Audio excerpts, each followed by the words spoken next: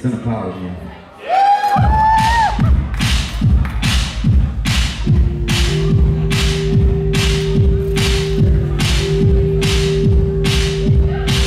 Thank you all so much again for coming out tonight and sharing this evening with